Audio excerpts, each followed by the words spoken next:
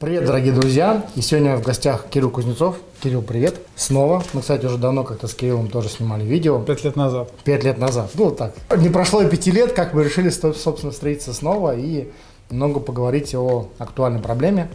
Кирилл у нас кандидат наук психологических и управляющий Центром профориентации а, гуманитарной технологии.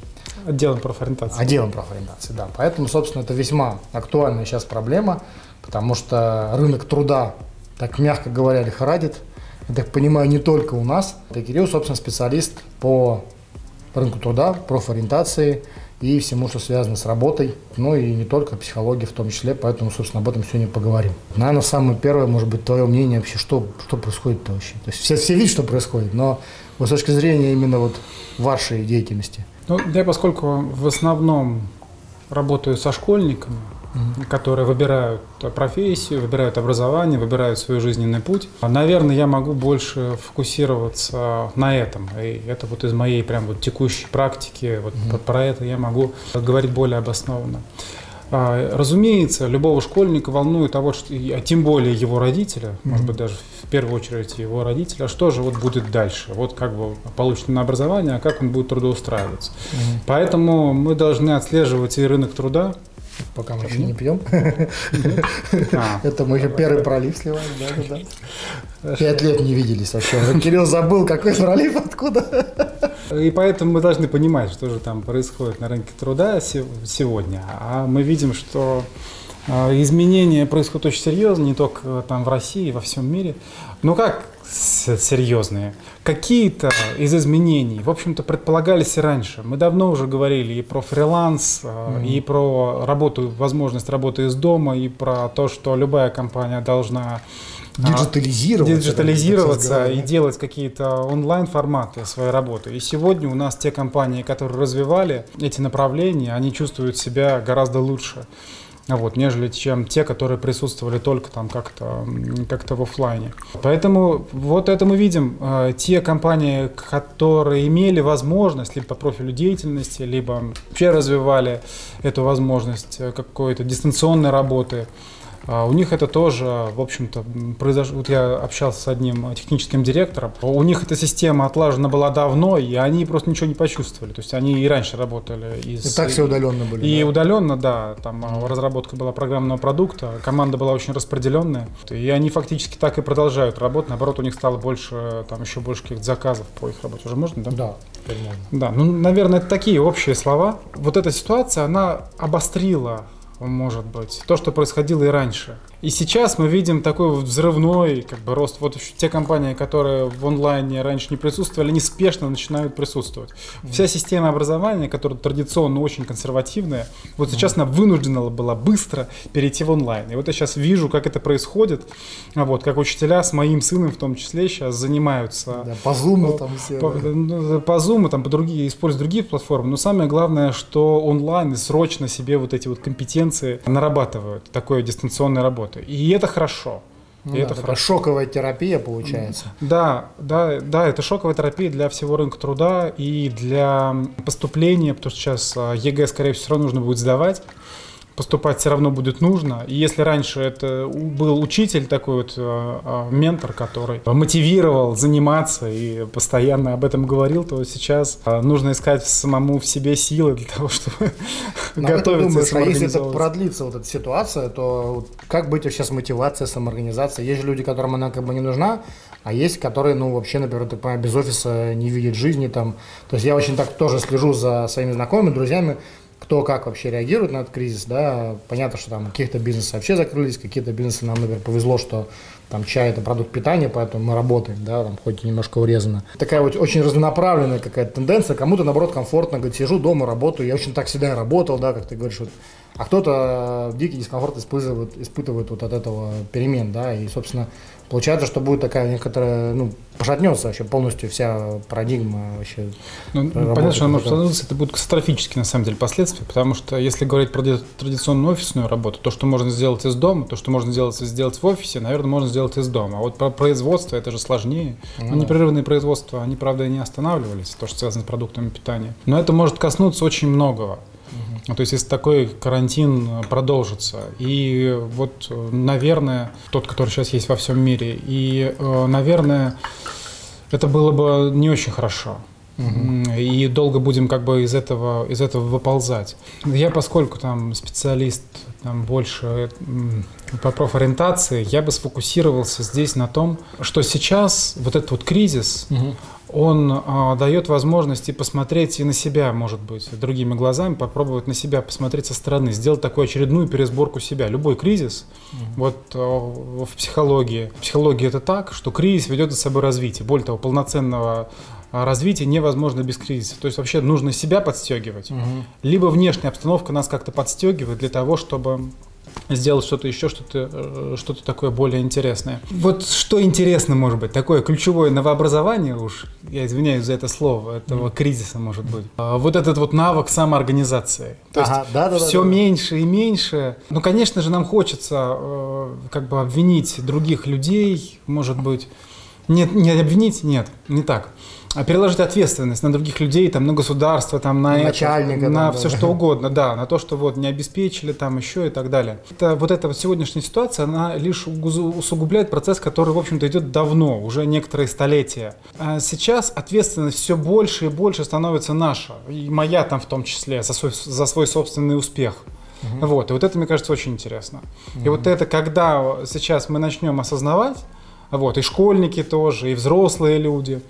Угу. Вот, что сейчас а, появляется очень много возможностей. И сейчас тоже. Вот заезженная фраза, что кризис, вот это вот даже рисуют эти китайские иероглифы, кризис ну, это возможность, ну, там ну, звук, да, со, да, звук да, состоит. Да, да. Хотя там немножко, немножко по-другому, как мне рассказывали специалисты, но такая трактовка тоже возможна. Переломный момент. Зато красиво звучит. Красиво звучит, да. да. И этого никто не отменял, да, да, да, да. Вот, к сожалению, или к счастью, может быть, вот такая вот ситуация сложная, она может быть для кого-то новой возможностью. И вот вспоминаем учителей, то есть срочно нужно было навык использовать вот такой вот дистанционной работы, который может быть очень полезен и который потом можно будет использовать.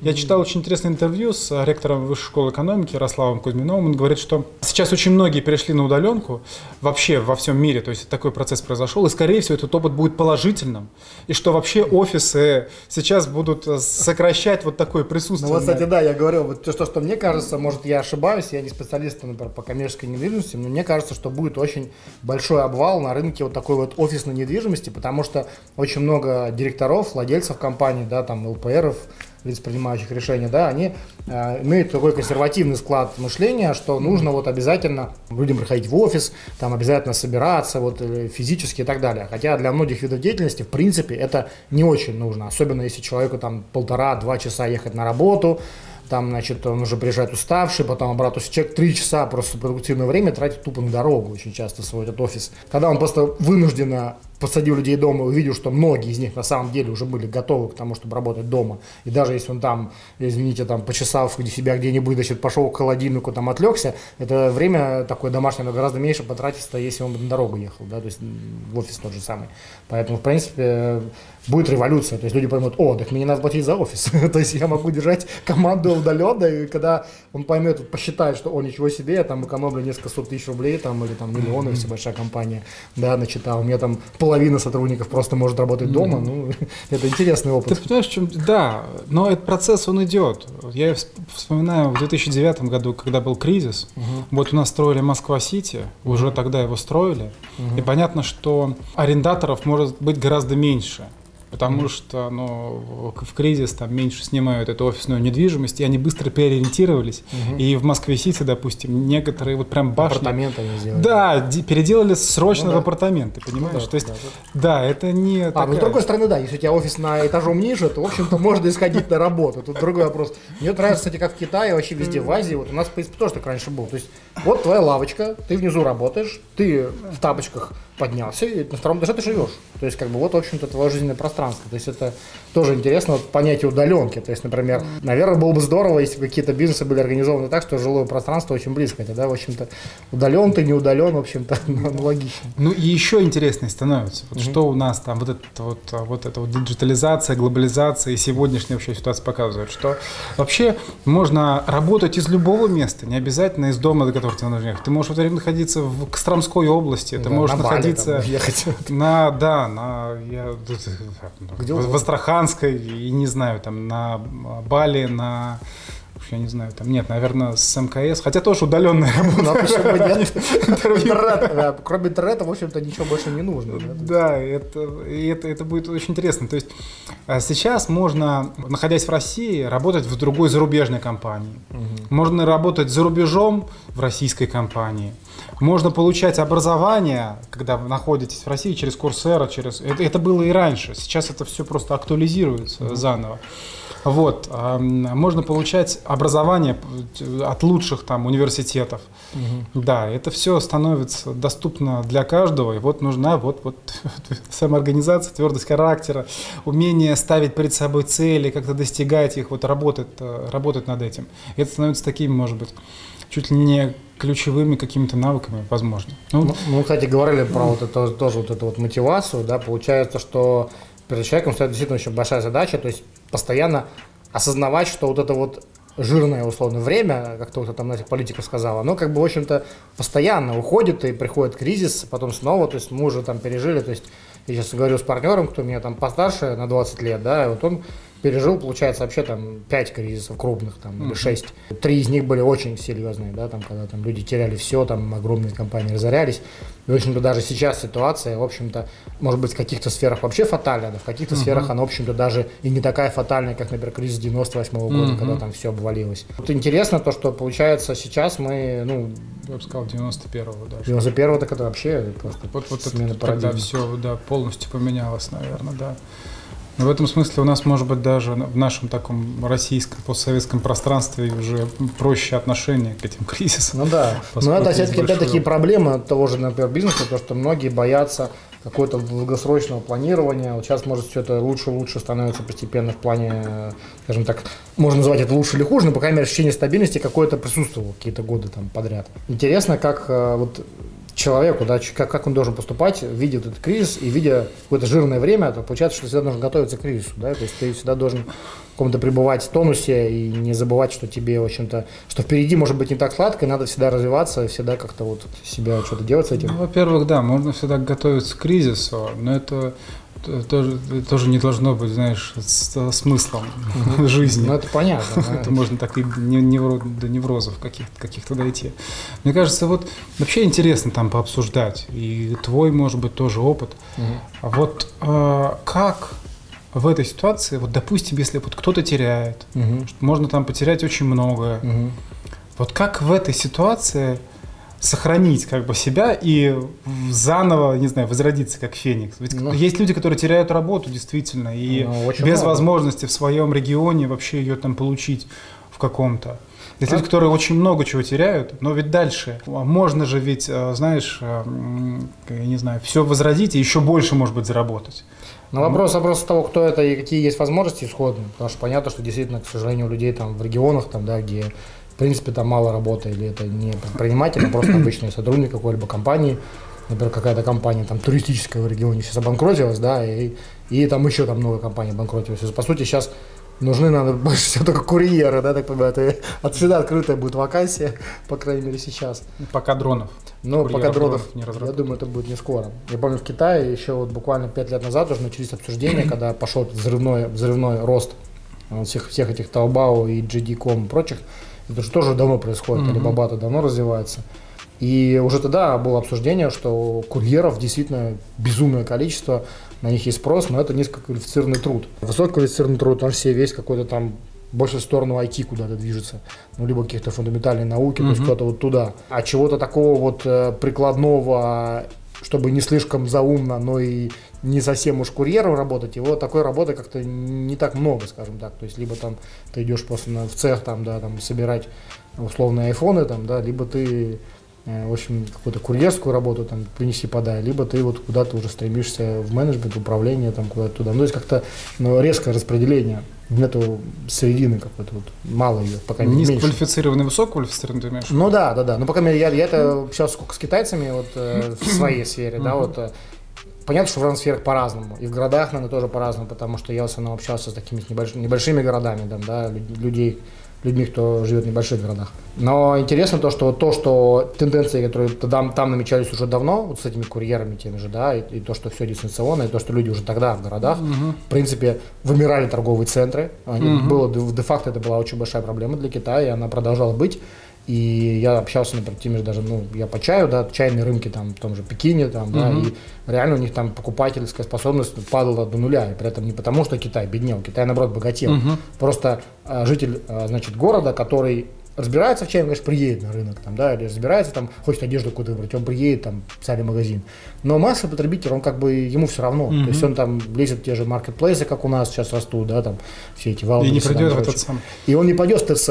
И, а сейчас получается, что этот кризис, он долбанул по этим ТЦ, и по этому офлайновому бизнесу настолько сильно, ну, так, что Видишь, вообще... то есть обострилось все то, что было раньше. То, что уже было проблемой, да, это да, уже было проблемой, не... оно просто стало хуже то, о чем мы говорили там еще полгода назад, оно mm отчасти, ну, в общем-то, да и просто, про, просто, да. я не знаю, утрировано.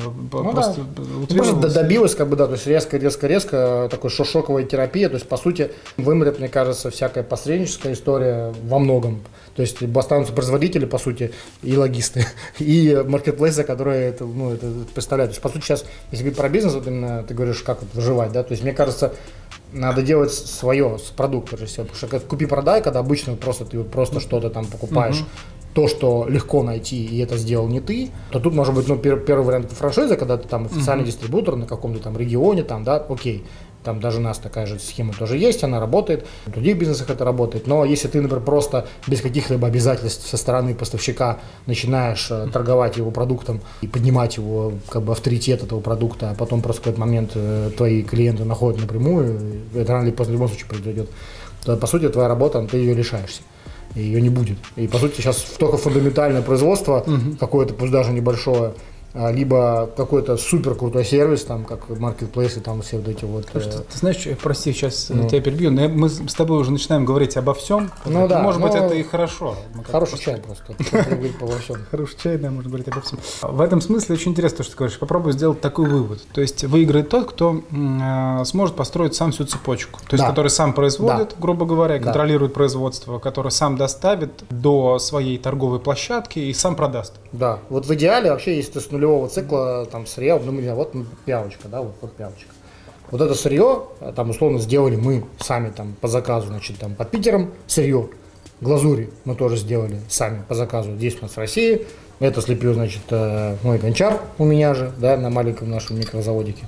Вот, и мы это сами даже поставили. ты слепил даже. Что-то даже, вот, что-то даже, вот это даже и слепил я. Да. Ну, неважно, это как пример. Понятно, что, может быть, те, кто, если не мои подписчики, кто не увлекается чаем, это будет довольно забавно все наблюдать. Но суть в том, что да, это наше такое микропроизводство, которое я когда вот заперся дома, я понял, надо сделать гончарную маленькую фабричку. И вот это очень прикольно. И мы это сами тут да. же продаем в розницу, то есть не оптом, не кому-то там. У нас это маленький, очень небольшой объем, там несколько сот ну, то есть изделий. У тебя там. фактически есть своя торговая площадка, через да. что ты можешь. А если бы да. у тебя ее не было, то было бы тяжело. Было бы очень тяжело. Как и сейчас очень многим, наверное, даже не десятка, а может сотням гончаров, которые, например, вели мастер-классы в центрах вот этих вот, э, да. таких вот, ну, где там приходили дети и, и так далее.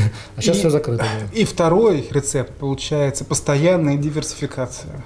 Да. Вечно вот не в одну корзину, да, то есть ты, если ты каким-то одним бизнесом занимаешься, то ты не знаешь, какая сфера может быть затронута следующим кризисом, потому что мы даже не можем предположить, какой будет кризис и с чем он будет связан. Сейчас, окей, там вирус, значит, э, все на карантине, а потом, может быть, там наоборот, там война, там, да, просто какая-то страна там резко обесценится все, и тебе надо будет переехать моментально. И в случае, например, если у тебя там производство, то ты как раз ничего не сможешь с этим сделать. То есть ты как бы будешь на земле, и ты пострадал там, да, там, или еще какие-то проблемы. То есть поэтому надо иметь очень разные направления, там, в, в идеале иметь и образовательную какую-то штуку, если какой-то есть скилл, там, да, онлайн какой-нибудь там, и какую-то аудиторию в соцсетях свою, и какое-то свое производство какого-то продукта физического, и какой-то продукт информационный, то есть вот максимально диверсифицировать, действительно, продавать все, что можно продать.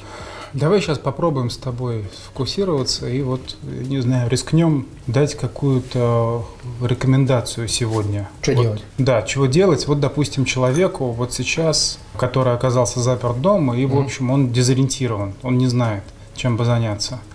Можно попробовать тем, кто сейчас... А, мы знаем все а, из публикаций, что для большинства людей сейчас столкнулись а, с тем, что доходы у них сильно снизились. Ну, кроме, может, если вообще не уволились. Да, если вообще там и не оплачиваем отпуск. И таких людей очень много, может быть, даже большинство, кроме там нескольких, не, нескольких отраслей. Вот что таким людям, может быть, стоит сейчас делать? Мне кажется, учиться. Вот в первую очередь. Прям, учиться? Есть, да. Ну, то есть я бы точно, абсолютно точно получать новые навыки, образование, как само скажем так, саморазвитие вот это вот, может, это супер там пафосно или попсово звучит, но это действительно то, что поможет, э, во-первых, просто отвлечься от всего этого. То есть, потому что когда я после себя даже, вот когда эту глину себе придумал, да, то есть причем это придумал до кризиса, как ни странно, буквально за там, пару недель до всего этого так просто получилось. Мне это просто такой антистресс. То есть сижу там что-то леплю, я не читаю эти дурацкие новости, там, то есть не забиваю mm-hmm. голову ерундой, потому что по сути там сейчас огромное количество людей, там все везде коронавирус, коронавирус, вот впервые мы сказали это слово в этом видео, какой ужас. Давай больше не будем. Давай, Давай больше не будем, да. Вот все об этом говорят, и все только об этом думают, читают, слушают, а какой там статистика, цифры. Но абсолютно это такое неконструктивное получается занятие, потому что ты ничего не можешь сделать, не можешь никак повлиять. То есть ты можешь соблюдать предписания и должен соблюдать предписания. Сказали, там сидеть дома, сидеть дома. А, там можно в это верить, не верить, но есть как бы закон. Да? Вот закон мы обязаны соблюдать. Может там с этим быть согласным, не согласным, там какую-то конспирологию вокруг этого развивать. Это абсолютно не важно.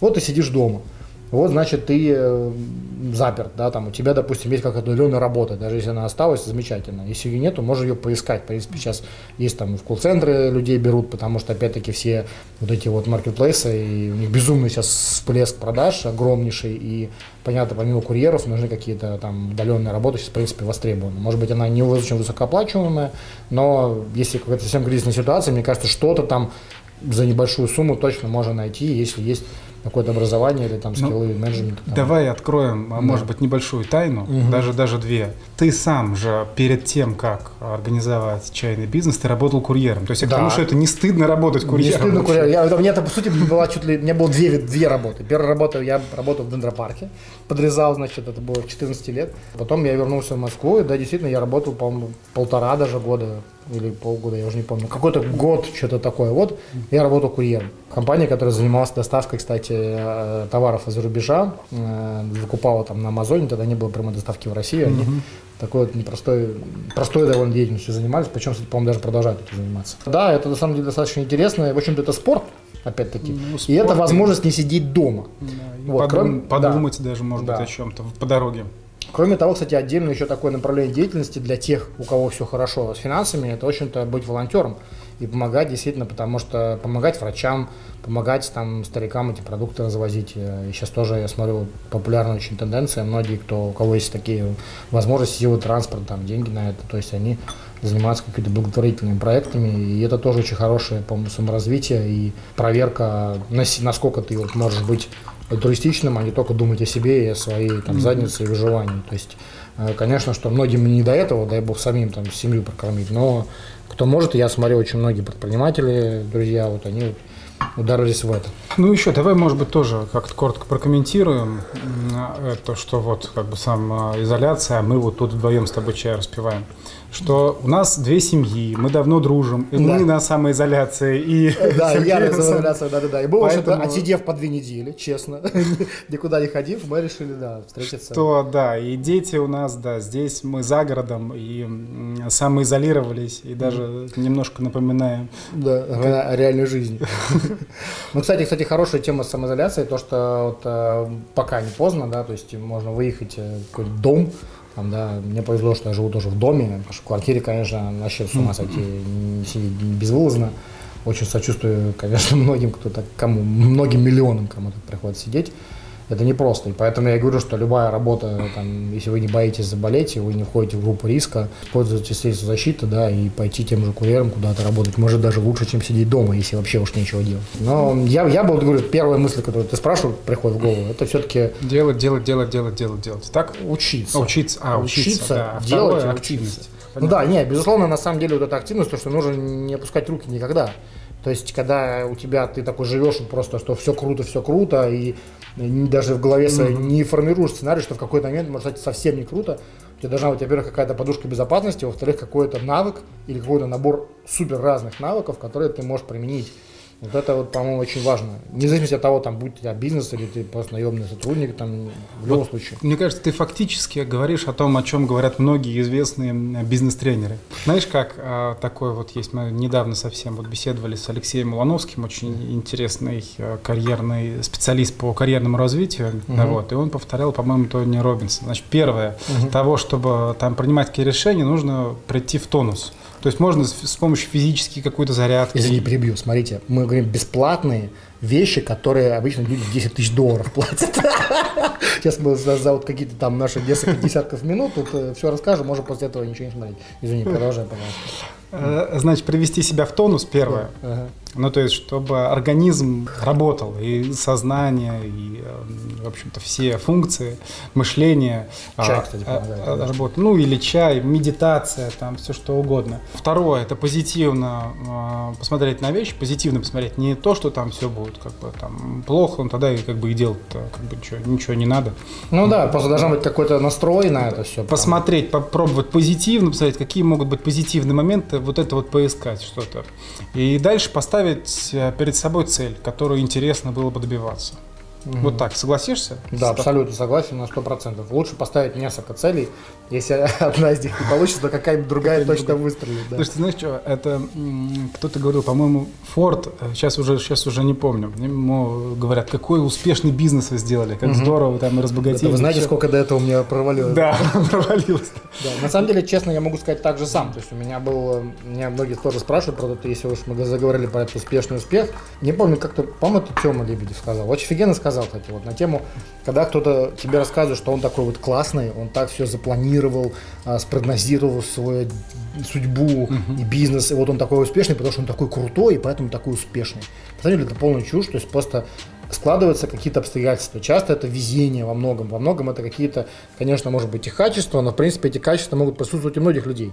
Но просто каким-то людям в какой-то момент не то, что не повезло, но по-другому сложились обстоятельства. И даже на самом деле, может быть, их там условно якобы кажущийся не такой большой успех, может быть для них гораздо больше успех, чем для вот этих вот успешных людей, которые многие из которых действительно э, находятся в постоянном стрессе, которым очень тяжело, там, то есть богатство это на самом деле не показатель по-моему, успеха как такового. Mm-hmm. Ну, пока для меня так было. То есть мне вот самореализация много раз важнее или какое-то ощущение наполненности жизни. И вот это как раз ощущение наполненности жизни, оно возникает тогда, когда у тебя как раз есть правильные цели, есть стремление делать, и есть вот это самое позитивное мышление, что ты все равно стараешься во всем искать положительные черты. То есть, У меня такой еще вопрос, мне кажется, это интересно. А вот как э, ощутить себе вот эту вот мотивацию? Ты каждый раз же, каждый раз, вот у тебя несколько было попыток же, они там были какие-то с разным успехом, но, но не так, ну... они выстреливали. И они загибались. Как ты каждый раз находил что-то новое? Как ты в себе это чувствовал? Слушай, знаешь, вот я задумываюсь об этом много раз, не знаю. Как-то вот какая-то вот, как будто что-то тянет. Вот такое ощущение, что тебе вот надо сделать, и ты делаешь не потому, что тебе надо, то есть ты не должен себя заставлять делать. Тебе, ты не можешь не сделать. Вот такое, такое ощущение, что прям вот настолько хочется, зудит. То есть я вот иду, вот, вот сейчас, я сейчас я увлекся вот глиной. Я, в принципе, до этого любил керамику и собираю там все это. Но вот я вот иду, и мне хочется лепить. Вот не знаю, вот хочется лепить, и еще не, uh-huh. не спать могу, буду лепить. Там, да, и вот мне как-то вот это тянет. Это, в принципе, хороший пример. То есть, когда ты, не знаю, ну, любите там что-нибудь там руками делать, да, и вас тянет к этому. Или, может быть, вы не любите руками делать, не любите там программировать, там, да, и вас просто, вас вот прет от того, что получилось, там, как у вас вышел код, и какая у вас получилась программа, как же здорово она вот такая, там, да, то есть любой результат дела, абсолютно не важно, что это, и мне кажется, очень важен результат, ощущение того, что твой результат, он тут же куда-то применился и тут же полезен. Очень многие демотивируют, что они работают на какой-то работе, угу. где у них плохая синергия с руководством, например, и они работают, работают, работают. И не понимают. И не да? понимают, для чего они работают. И, и более того, когда они вносят какие-то разумные, как, их, как им кажется, предложения, их не слушают и не слышат. Угу. И в этом плане, конечно, любого работника это безумно демотивирует. А когда слышишь, когда тебе дается свобода, когда и работник толковый, потому что бывает, что предложения дебильные, тут угу. такое тоже бывает, то есть не все гениальные на свете, но э, тут надо вот этого синергия, по-моему. То есть, если ты работаешь на кого-то, тебе должна быть синергия с руководством полная, то есть тебе должны доверять, и ты должен доверять, mm-hmm. и какое-то вот общее вот это вот течение жизни, оно тебя будет мотивировать само по себе. А если ты работаешь на себя, ну тут, конечно, некая рисковость, рисковость, да, и вот это вот бесстрашие, потому что выход, как говорят, тоже расхожая фраза, но вот выход из зоны комфорта, условно, он должен присутствовать постоянно. И еще вот лично для меня не бояться тратить деньги на ресурсные какие-то вещи, потому что у нас вот это тоже проблема России во многом. Э, люди боятся вкладывать и играть в долгую. То есть люди боятся, люди боятся как бы эти вот, ну даже можно посмотреть, это купи-продай, вот это вот схватил, урвал, побежал, то что я даже снимал на эту тему видео, урвал. Как одним словом описать угу. все современный вот бизнес. Не весь, но очень многих, к сожалению, урвал. Убрал, деньги спрятал. Схватил, убежал, да. И, во-первых, вот это вот крупный бизнес боится инвестировать в Россию, потому что у нас по понятным причинам, я не буду об этом говорить, а, все все понимают, да. А, мелкий бизнес не имеет этих возможностей и боится тоже стать крупным, потому что тоже все заберут. И поэтому люди боятся играть в долгую. Вот. И, и как бы хочется, конечно, чтобы этот тренд как-то изменился в головах и фундаментально, чтобы эти причины все ушли. Вот. Хотя я скажу по своему опыту, что у меня, кстати, не было никаких вот таких вот, а, может быть, мы такие маленькие, что мы никому не нужны, но как бы так или иначе у меня не было такого негативного опыта взаимодействия с государством, так или иначе. Ну и, может быть, дело такое, которое, в общем-то, не подразумевает какого-либо негативного воздействия. И мы там уже честные, хорошие, все делаем правильно, не ищем, даже, даже серых, серых дорожек мы не ищем. Вот. И мне кажется, да, чем ты более открытый, э, чем ты более честный с собой, когда у тебя еще, кстати, аудитория, многие, кстати, говорили предприниматели, немножко другую тему затрону, но пускай уж она прозвучит, когда у тебя большая аудитория, там, ты там, условно говоря, популярный, да, там, mm-hmm. тебя сложно нагнуть, да, если нагнуть, будь то законным образом, незаконным, то есть тебя а, сложно сделать что-то с тобой нехорошее э, незаконным путем, потому что ты об этом тоже расскажешь, это тут же все осветит. Свет, он вообще, это уникальнейшая штука. Есть две крутые штуки, которые люблю. Культура и свет. Вот свет, он все проясняет, все, все чернота на себя просто ее не видно. Культура – это штука, которая э, системообразующие, которые боятся людей, вот как тьмы, условно говоря. Да, может так это немножко эзотерически звучит, но вот люди, которые творят какую-то фигню, и те, которые не могут э, ничего делать хорошего, которые ставят препятствия, там, бизнес, не бизнес, неважно, они как бы боятся культуры, боятся света. И когда ты делаешь что-то такое, что является частью культуры, отчасти чем-то хорошим, вот каким-то позитивным, то оно настолько сильно мотивирует. Просто меня вот, например, если про себя, да, они пишут такое количество, Дио, Сергей, там, я начал пить чай, перестал там бухать, там, торчать, что-то еще. Мне там это изменило мою жизнь, потому что, ну, это культурная штука, да, и она заменяет ритуал, там, употребления чего-то. Для меня вот это было очень большая мотивация именно в чае. И когда получаешь до сих пор каждый день, мне пишут люди огромное количество на эту тему.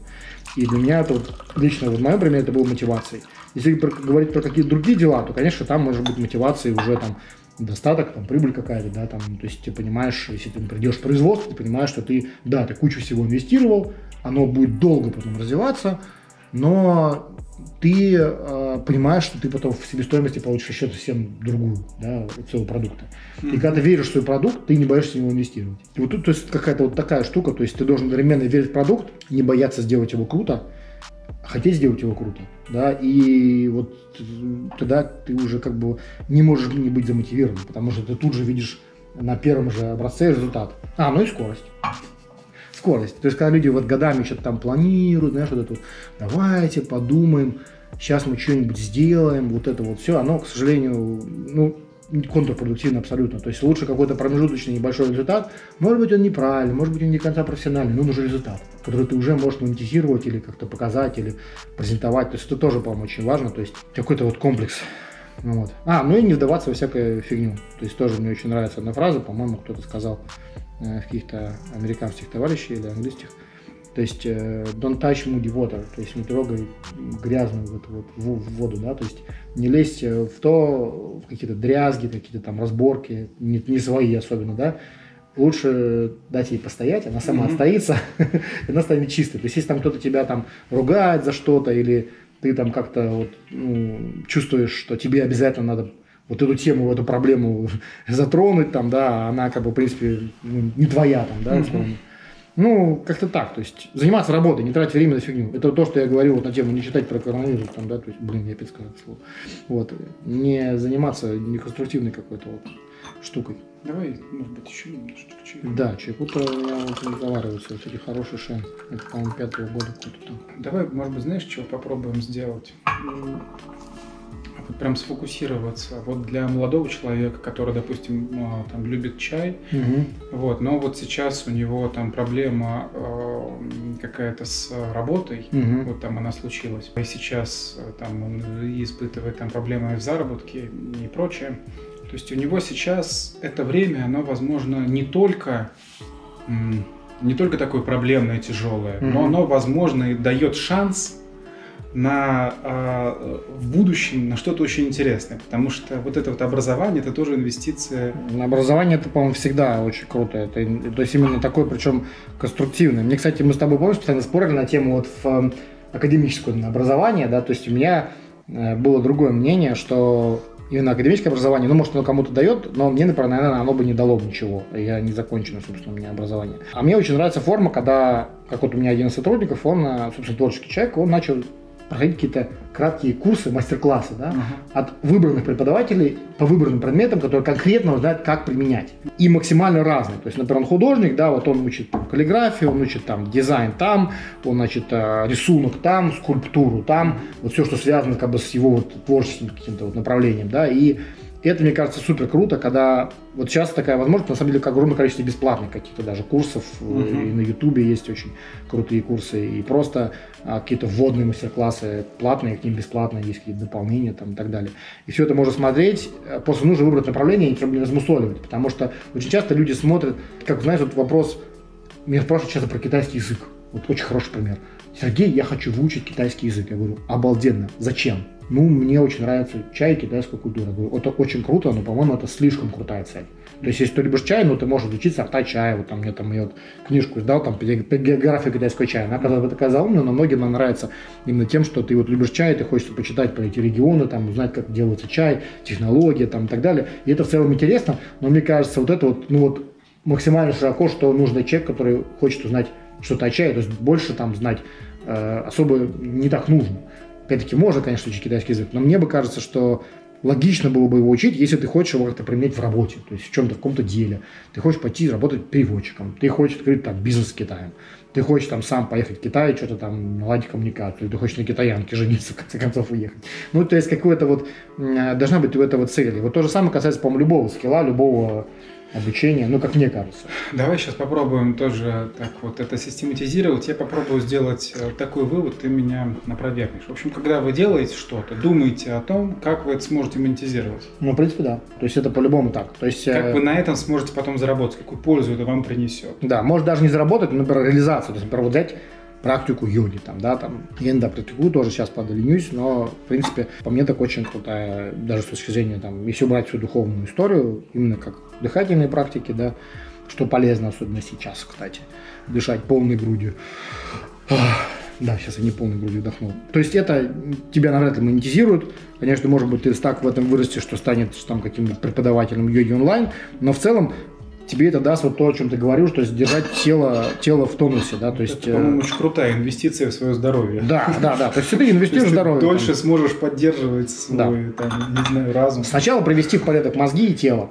Потому что когда в порядке мозги и тело, ты можешь все делать. Если у тебя, ты там, условно, лежишь на диване, и ты думаешь, как же себя замотивировать и встать, да никак себя не замотивировать, блин. Просто возьми и начни делать. То есть, как бы это вот... Сначала несколько раз отожмись, облейся холодной водой. Да, да, да. Вот возьми прямо сейчас, вот встань, вот ты сидишь на диване, смотришь этот ролик. Вот встань сейчас, иди и отожмись 20 раз. Супер замотивирует, прям вообще, прям сразу чем захочется делать. Или что-то там поделай физически. Вот, то есть, как бы это момент, он, понятно, что я сам, в принципе, не скажу, что какой-то фанат там, спорта или что-то еще, но, в принципе, мне хватает физической активности, там, мы сейчас завели эту печку, там, дрова даже наколоть 10 кубов, уже, в общем-то, вполне себе даже такой спорт. там, или по лестнице побегать вверх-вниз. Вот, то есть, какое-то вот такое занятие, оно должно быть. И, может быть, ты это не монетизируешь, но ты понимаешь, конкретно понимаешь, для чего ты делаешь что-то. То есть, осознанность, вот это вот чай, опять-таки, я тоже люблю очень это Чай это осознанный, да, то есть он тебе собирает и дает какое-то понимание вот твоего места, вот, ты, начинаешь присутствовать где-то, а не просто там в облаках видать. И вот это вот очень такая большая проблема, что люди многие находятся в каком-то полном вообще невминозе, понимание того, чего они делают, где они находятся, зачем они живут. То есть, может, там не поиск смысла жизни, но какой-то вот э, понимание того, зачем ты что-то делаешь, по-моему, очень важно сейчас. Ну а как же вот с, как, как, быть с такой спонтанностью, то, что там отпусти себя, и иногда нужно делать что-то, может быть, ну такое Для того, чтобы расслабляться, не нужно напрягаться. Ну то есть, когда ты не напряжен, в принципе, то тебе, в общем-то, расслабление особо не нужно. То есть я вот, мне многие очень говорят, Сергей, а что такой, что такой спокойный?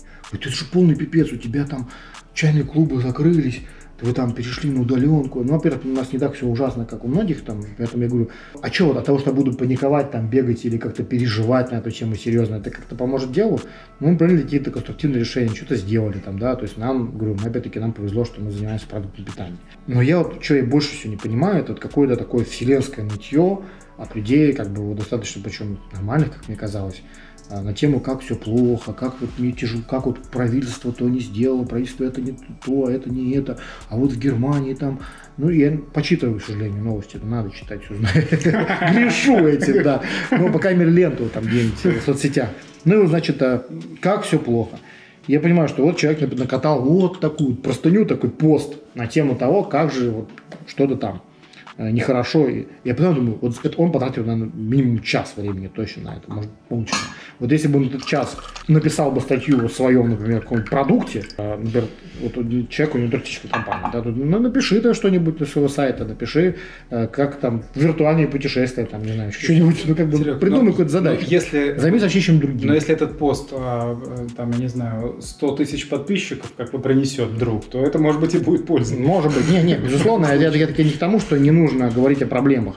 Я, я к восприятию этих проблем. То есть, опять-таки, проблема, конечно, должна быть озвучена, если там, условно, а, хочешь достучаться там, до государства или до кого-то, кто действительно должен помогать в таких ситуациях, когда вообще все плохо, то это да. Но я говорю про общее восприятие вот, ну, какого-то жизненного понимания. Да? Потому что когда ты просто вот э, в каком-то пребываешь в космосе и Э, постоянно муссируешь какие-то неприятности и негативные мысли, что, конечно, это не соберет тебе, не даст тебе какого-то вот жизненного запала на какие-то действия. То есть, ну, такое возвращаясь к вопросу, вот откуда ты берешь мотивацию? Ниоткуда не беру, я просто не делаю демотивирующих меня вещей. Стараюсь, я просто понимаю, что... То есть надо, во-первых, осознать три штуки. Первое, не общаться с людьми, которые вас топят. То есть это первое, это может жестко звучит, но вот если тебе кто-то там вот какой-то друг там условный, который тебе просто ты из него говоришь только о том, как у него все хреново, значит, это не очень хороший друг. Ну, мне так кажется, да? То есть он говорит, о, так у меня все плохо, у меня да, у, там, и давай поной там мне два часа на эту тему. Окей, я послушаю 5, там, 10 раз. Если очень давний друг, я могу даже года три пообщаться. Uh-huh. Но если у него ничего за три года не изменилось, он по-прежнему находится вот в этом вот, у него все плохо, наверное, я как-то от него как-то буду дистанцироваться, потому что я понимаю, что я не могу ему помочь, потому что я ему делал все, что могу. Я ему советовал, что-то подсказывал. Действительно был такой товарищ, вот, очень хороший парень, слава богу, кстати, вышло, что-то там у него получилось. Вот у него был там один бизнес, другой бизнес, что-то не пошло, там не пошло, здесь не пошло. И вот он постоянно вот как у него все плохо, как у него все плохо. Я говорю, ну ты же дело делаешь, ну пробуй дальше, тяжело, да, ну я понимаю, ну блин, вот и вот это все-таки вышло у него, кстати. Вот. Ну, то есть но, можно, но... наверное, перевернуть это в другое, что надо окружать себя теми людьми, которые вас как-то развивают, Да, да, да, и которых вы развиваете, которым вы интересны по какой-то причине. Там, да, там. И, кстати, такая штука еще, а, может, это не очень правильно звучит, но люди говорят, вот, любите меня таким, какой ты есть. А за что тебя должны любить-то? За что тебя должны любить такой, таким, какой ты есть? Будь таким, чтобы тебя любили. То есть вот эта вот история, что ты вот я такой, вот, вот цените меня таким, вот это вот типа, вот, ну, принятие там, да, вот это как бози-позитив там, вот, вот, тоже вот, это оттуда же из этой истории. Это хорошо, конечно, тебя можно принимать любым, там, физически, духовно, но если ты не делаешь ничего для того, чтобы развиваться и чтобы людям, с которыми твои близкие, твоя семья, твои друзья, твои там, там коллеги, чтобы было с тобой просто хорошо, угу. то зачем тогда ты нужен? Людей очень много. Жестко. Жестко, но это правда. То есть, как бы это правда, но я считаю, что как бы нужно, вот как раз ты говоришь сейчас, ответственное время, что человек должен брать за себя ответственность и осознавать вот свое место в мире и свои обязанности, свои обязанности перед миром. И не мир тебе обязан, а ты обязан миру, прежде всего. То есть, как бы мир тебе ничего не должен, чуть мир чуть-чуть должен. Ты окей, ты там, может быть, э, э, член э, каком-нибудь там, ну, там, член какой-то страны, там, гражданин какой-то страны, страна тебе что-то условно должна, конечно, в какой-то степени. Но она не должна решать за тебя, кем ты будешь, она не должна решать за тебя, а, какое у тебя будет завтра настроение, там, или какой ты навык обретешь или не обретешь. С тобой, допустим, кто-то поступил несправедливо, там, работодатель там, или правительство, окей, Поменяй это правительство, поменяй это работодателя, кто тебе мешает. То есть, как бы, да, это стрёмно, да, это может быть какой-то выход из зоны комфорта, но, но только так все это развивается. Это эволюционный какой-то процесс, по-моему. То есть, если, если не происходит, как ты говоришь, вот без шока не происходит развитие, да, то есть без какого-то вот сдвига с то есть, на самом деле, даже вот на примере сейчас у меня эта ситуация произвела безумный шок, там, да, конечно, как и на всех предпринимателей. Я думаю, затронуло это в любом случае вообще всех, даже тех, у кого все хорошо, все равно это затронуло. И я вот начал стримы вести. Я никогда не вел, и как бы тут я такая, а, типа, надо сделать, все, по-любому. Завели, куча народу, причем тех, которые очень давно эти стримы ждали, откуда, там из Украины ребята, из Белоруссии, из Европы, там, из других городов России, куда я не мог доехать, там, наконец-то можем вживую пообщаться. То есть вот это как минимум вот такое вот маленькое микродостижение, там, да, там, мы поняли, что можно доставлять чай, что, да, там, доставка сейчас выросла, потому что люди не могут приехать чайные, и как бы тоже это происходит, э, конечно, не в тех объемах, как бы нам может хотелось, но все равно мы работаем, и нам условно хватает поддержать сотрудников, там, да, кстати, вот вопрос о поддержке, да, мы сейчас пока еще никого не уволили. То есть мы сократили зарплаты, к сожалению, особенно тем, кто вынужден сидеть дома. Надеемся там, что там апрель, может быть, там полмая мы как-то так протянем. Если дальше, конечно, к сожалению, может придется кого-то уволить. Очень не хочется это делать, я безумно ценю команду и надеюсь, что это будет получаться. Хотя бы какой-то минимум поддерживать э, ребят, чтобы они могли просуществовать, пока все это происходит. Да? Потом мы снова откроемся, снова пойдет обратно восстанавливаться все много, много обо всем сразу по хаотичному, но... Ну, много обо всем сразу. Еще интересно, вот ты как бизнесмен, угу. вот как ты оцениваешь, ну, ты же как-то смотришь как бы, на сотрудника, ты вынужденно это делаешь. Угу. А вот кто самый ценный сотрудник? Я даже не про профессиональный, хотя, может быть, и про профессиональные навыки. Вот как ты самый самого ценного сотрудника, с кем бы ты в последнюю очередь бы расстался? Как, как бы ты это сформулировал? Ну, я бы, знаешь, сказал так. Я, я в свое время понял, что люди безумно разные. Задача руководителя быть каким-то ментором таким, да, вот ментором смотреть над ситуацией, то есть э, одновременно понимать, как работать мелочи, но не влезать в них и не мешать работать. То есть задача руководителя не мешать работать сотрудникам. Это первая задача, по-моему. Вторая штука, если сотрудник в чем-то, скажем так, э, не талантлив, то значит в чем-то он, скорее всего, талантлив, в принципе. Ну, в большинстве случаев так. И задача, если у тебя есть возможность и есть такая вакансия, найти ему такое применение, которое максимально хорошо для его, скажем так, реализации, и он именно в этом себя лучше всего показывает. У меня было много такого опыта разного, то есть э, кто-то уходил, кто-то приходил, естественно.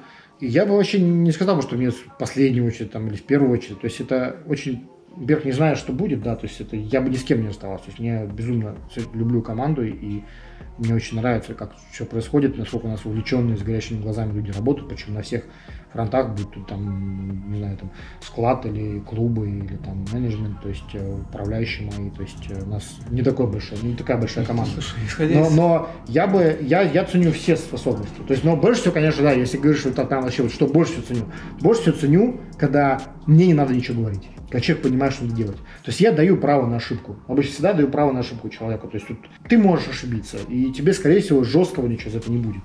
Ну, инициативность вообще. Да, иници... инициативность, скажем так, э, самостоятельность э, с, конечно, какой-то соблюдением субординации, то есть без самодурства, да, но в какой-то степени бывает иногда даже сильная инициативность, это, скажем так, лучше, чем полная демотивированность. Да? То есть, как бы иногда, может быть, э, ты дашь какой-то вот, скажем, такой запал, да делай, что хочешь.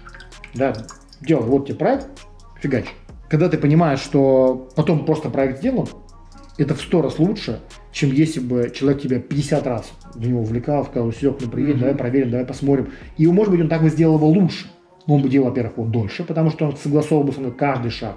Он бы э, за это время был бы демотивирован, потому что боялся бы, блин, а что же Серега-то скажет, а вот сейчас я накосячу, сделаю что-то не так, как надо. И этот страх, он гораздо более демотивирует, чем если человек накосячит. Мы потеряем деньги где-то там, мы там что-то, на что-то не получится. Это нормально а зато потом человек не будет бояться делать. И он научится. Только есть такой человек. Вот я люблю вот это.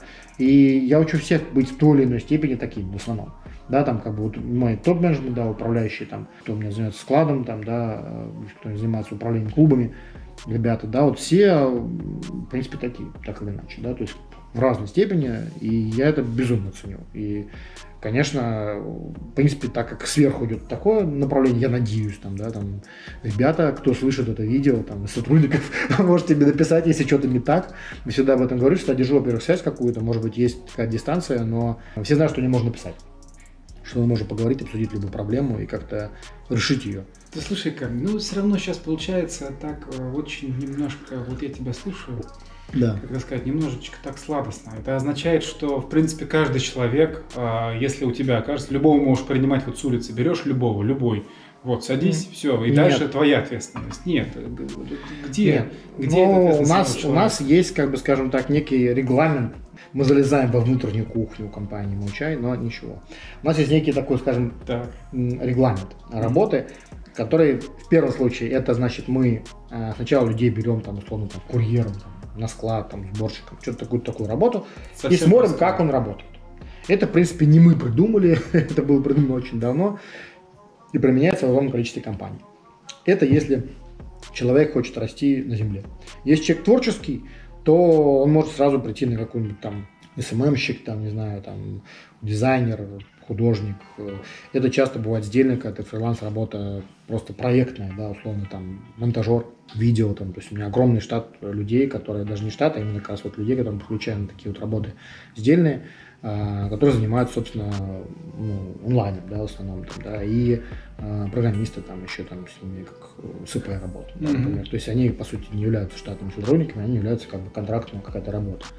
И тут, естественно, все просто. Ну, то есть просто сдельная работа. Сделал работу, получу деньги. Не сделал работу, не получу деньги. Это очень просто, честно и понятно. Вот. С другой стороны, конечно, они, может быть, не защищены социально, потому что э, многие даже э, осуждают такой тип э, ведения дел, да, когда человек там вместо того, чтобы человека официально устраивать, он заставляет его регистрировать ИП там, и так далее. Это не очень хорошо, и я, в принципе, таким не страдаю. Но я той сфере, где я нахожусь, там, в принципе, так принято.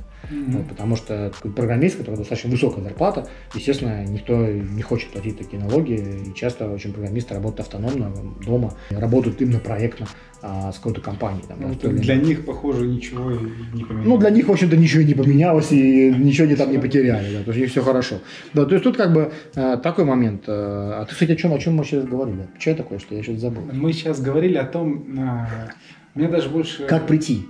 Как прийти, ну, и знаешь, как выбирают? Да, как выбирают. Ну, мне интересно, давай прям сфокусируемся, и вот прям, может быть, прям вот коротко. Угу. Вот кто точно нет? Вот кто точно нет? По каким характеристикам ты поймешь, что нет, не подойдет, не приживется у нас такой человек? Ну, вот как раз вот э, демотивированные какие-то люди, то есть абсолютно, ну, медленные, демотивированные, а, и без каких-то явных, скажем так, талантов или умений, скиллов, скажем так, да, потому что бывают люди медленные, но супер заряженные в плане каких-то своих способностей и умения действовать, делать какие-то дела, может быть, медленно, но очень круто. Тут вопрос, есть какие-то дела, которые он может делать не очень быстро, но в то же время есть и дела, которые, большинство дел ну, нужно делать, скажем так, со средней либо быстрой скоростью. И я вот э, не люблю медленных в целом, вот, но это мое субъективное, то есть на самом деле я себя учу быть более, скажем так, непредвзятым потому что ты смотришь просто, что получается. В каких-то случаях, конечно, вот игры жестоко, да, но вот, к сожалению, да, так получается, что кто-то просто тупо не может. И все. Вот он не может, не справляется. Ну, человек такой, такой вот он получился. Ну, так, человек, который так получился, нужно сказать какую-то работу, которая, скажем так, вот, медитативная, спокойная, может, какая-то фундаментальная, такое что-то вот неторопливое и там из другой области вообще, да, там не из области э, деятельности компании, которая привыкла работать в каких-то других скоростях чуть-чуть. Мы привыкли вообще быстро делать. Я сейчас приехал в Европу и обалдел, как же там все медленно вообще. Но зато основательно. То есть, ну, тоже некий опыт. Основательно? Ну да, ну то есть вот в банк только по записи. Через неделю ты приходишь, но с тобой сидят два часа. И выясняют все, что нужно, и делают все, что нужно, но очень медленно. Там риэлтора там какое-нибудь там помещение мы ищем, например. И, то есть другая ментальность абсолютно. В Китае все быстрее, в Европе все медленнее. А мы где-то посередине вот, вот так баландаемся там. Кстати, мы с тобой еще одну тему хотели поговорить. Помнишь про призвание? Это вот тоже вопрос, в принципе, касающийся напрямую твоей деятельности уже скорее даже. Да у любого человека. Ой, Будь здоров. Спасибо. Будь аккуратнее. Призвание быть нормально. Да, значит, ну, призвание, что, что это такое? Наверное, для любого молодого человека, когда ему говорят про слово призвание, призыв, угу. ты сразу думаешь, вот про что ты думаешь, призыв, когда говорят? Ну, призыв в армию. Призыв да. в армию, да. Ну, то есть долг, обязательства какие-то твои перед, э, перед кем-то, твое обязательство. Перед кем-то, перед Богом, перед чем-то, перед правило, природой. Перед чем-то таким вот большим. Перед чем-то очень-очень, да. Каким, таким фундаментальным. Каким-то большим, и чего ты не можешь против чего Это когда ты можешь переложить ответственность за свою жизнь на кого-то. В принципе, да. вот это вот и есть, по-моему, призвание. Ну, ну, отчасти да, а можно говорить про предрасположенность, понимаешь? То есть mm-hmm. есть природные какие-то твои данные. То есть mm-hmm. мы тоже не можем против этого пойти. То есть есть что-то, получается, у тебя лучше. То есть есть же скорость реакций ну, да. у человека. То есть один человек будет работать, э, не, даже не работать, вот будет лучшим спортсменом. Это чисто природные данные. Он будет бегать быстрее, ноги ну, да. длиннее. Вот. А у другого человека нет этих данных, он не, не будет э, бегать э, там настолько быстро. Это такие тесные, каких-то тесно-тесно связанные какие-то понятия. Здесь самое интересное, если говорить про призвание, наверное, то, что сейчас это отходит на второй план. Если раньше говорили больше про, про призвание, когда mm-hmm. вот это должествование было выше, когда выбора было значительно меньше, mm-hmm. то сейчас все больше ответственность э, находится перед каждым человеком ну, то есть э, за себя. Конечно же, есть некоторый долг обществу какой-то. Мне кажется, все-таки, что он есть. Ну, общество. вот опять-таки, когда я говорил про какие-то волонтерские истории, там, ну, благотворительность, э, ну, да, это ответственность может... социальная, там, сейчас же это супер вообще модно. Ну, это, нет, ну, может быть, это и хорошо. вообще, в принципе, да, хорошо ну, быть хорошо. некоторо социально ответственным, то есть думать быть о том... включенным, то, что ты не один. Наверное, я бы вообще так сказал, что ты вообще должен быть думать о том, что вот что ты делаешь, угу. почему это людям может быть полезно, для чего это может быть да. нужно. Да, да, да, да. Это же элемент реализации. То есть, когда, да. когда мы возвращаемся к теме, когда для чего ты это делаешь. То есть, если ты делаешь просто так и непонятно, кому это надо и зачем, тогда, собственно... Ты не ожидаешь, что общество должно тебя за это благодарить. Да, да, да. То есть, как бы ты... Ты можешь это делать, но это не обязательно кому-то интересно. Так что, когда ты что-то делаешь и хочешь там какой-то иметь успех, то надо думать о том, почему это может быть полезно. Ну да. Полезно людям. Ну, либо прям сразу на этом фокусироваться. Кому это нужно и для чего. Да, а второе, вот, про некоторые предрасположенности, это, конечно, нужно изучать себя. Это самопознание, это, не, это надо как-то понимать каждому человеку. Вот это выискивать какие-то свои Но, кстати, особенности. вот твоя штука профориентационная, она же этим и занимается. Ну, Именно так, есть, да. Это... Мы пытаемся сформулировать для человека вот несколькими простыми, может быть, даже словами, формулировать с помощью теста, других технологий, тестов, других технологий, вот свои Этим мотивы. Я ставлю ссылочку на компанию Кирилла в описании. Да. Можете пройти, там бесплатные какие-то тесты тоже. Очень много бесплатных тестов, статей по профориентации разные там. Может быть, кому-то будет полезно. Может быть, текущий полез... момент. Теку... Да, текущий момент и вообще интересно это как почитать, как, как некоторый такой элемент самопознания. Ну так вот, вот прямо некоторую такую формулу, если хотите, формулу профессии, если не формулу профессии, формулу, не знаю, дизайн карьеры своей как-то.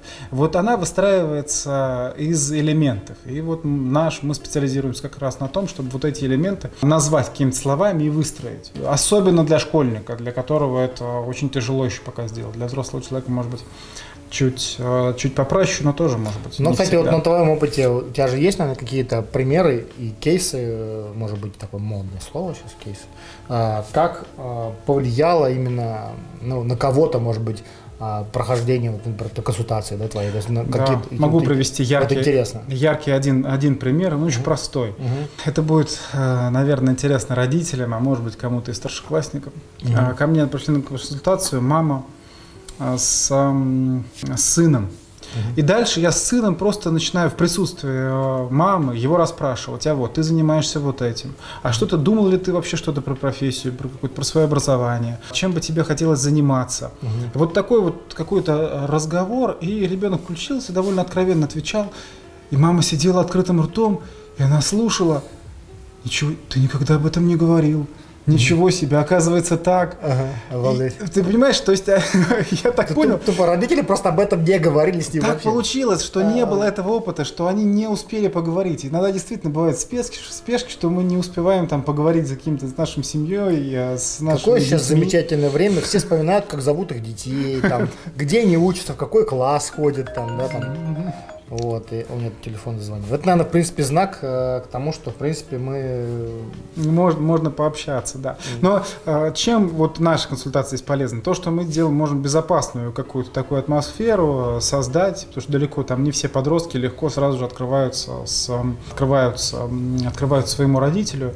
А у нас есть прям технология, вот профессионалистам, допустим, когда вот мы медленно, постепенно, в безопасной обстановке вот как-то раскрываем какие-то эти особенности. Как, какой ключик нужно подобрать? Да, к человеку, чтобы... Тут, тут не про ключик, а про то, что а, пом- помогаем сформулировать человеку угу. самостоятельно, особенно ребенку, что может быть важнее даже, угу. сформулировать вот эту для себя цель, предварительную, которая потом будет меняться, но тем не менее, от чего, угу. можно, от чего можно будет отталкиваться. К чему тянет и что у человека будет получаться лучше, как бы, да, получается? Может, может быть, да. То есть некоторую такую сборку. Вот как угу. бы это и со взрослым человеком может быть точно так же, который угу. дезориентированный, вот особенно сейчас вот что делать, как, вот куда ткнуться, если образование, вот ты говоришь о самообразовании, абсолютно согласен, угу. а куда, с чего начинать? Вот вроде бы этого хочется и этого хочется. Вот здесь самое главное не уйти, вы знаете, есть такие вот у нас называются коллекционеры образования, а, ну которые да. одно образование, но до дела так и не доходит. Ну да, да, да. Одно образование учиться, да, да, да, как бы. Но да, это тоже некоторая ответственность. Ну, кстати, обучаемость обучаться. Может, потом он сможет преподавать э, на тему того, как правильно получать образование. Да, или хвалиться тем, что у меня три высших образования. Да, да, да. Вот. И э, да, но это как бы тоже может быть. Но это, это, это некоторый вариант эскапизма, ухода от дела. То ну, есть да. я постоянно готовлюсь к этому. То есть я не mm. делаю, это как если бы... У меня ты... где-то вдалеке, то есть ты поставил да. цель, но она настолько далеко, что ты не можешь,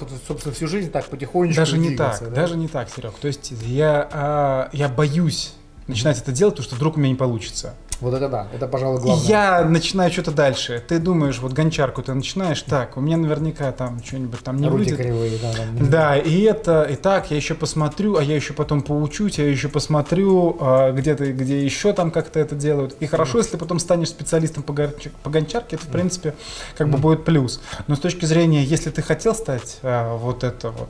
Получить. Да, получить, да, то ты так этого, может быть, и не сделал, либо не сделал так хорошо, как мог бы.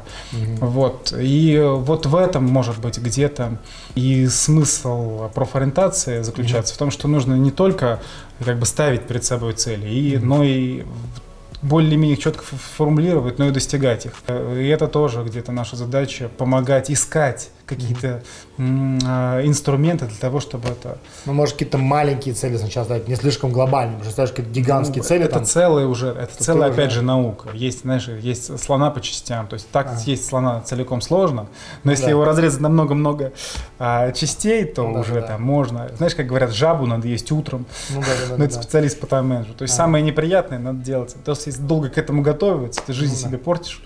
Ну да, ты постоянно помнишь о какой-то там проблеме, которую ты не любишь ну, там, и не можешь. Там, и да. там очень много еще других способов, все их там без а, сомнения, без сомнения найдут. Mm-hmm. Вот мне, например, когда я писал диссертацию, я очень, насколько, не представляете, насколько мне не хотелось там писать, mm-hmm. насколько мне тяжело было там себя там как бы заставить.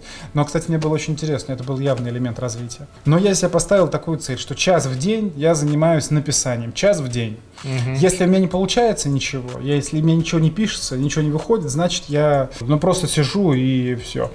Но я втягиваюсь, и дальше слова начинают писаться, и дальше что-то получается. И дальше я ухожу даже за этот час, начинаю два и три, увлекаюсь этим делом. Mm-hmm. Но так, если... Самое сложно начать, сам, в, некотор, в некотором роде, да. Особенно для каких-то сложных таких э, видов труда, как написание таких текстов, это особенно под, под, в каких, которые должны быть в каких-то рамках. Ну, в общем, чего? Я думаю, что мы в целом да. много чего интересного поговорили, еще обязательно да. поговорим. Надеюсь, что да. Надеюсь, что это будет не только интересно нам, нам с тобой да, интересно. Да, да. Оставляйте, кстати, комментарии, как вам вообще наш диалог. Да. А, мы с Кириллом, да, долго собирались, почти 5 лет снова посидеть. Я думаю, если что, повторим, потому что, мне кажется, интересно поговорить о чем-то вообще. Потому что мы сейчас чаще видимся. Да, мы чаще видимся, больше ни с кем не видимся, потому что... Ладно, спасибо большое, Кирилл. Вот, всем пока, до новых встреч. Счастливо. Счастливо, всем успехов в карьере. Да, всем успехов в росте. В росте. Да, да. Пейте хороший чай, не думайте о плохом. Пока. Пока.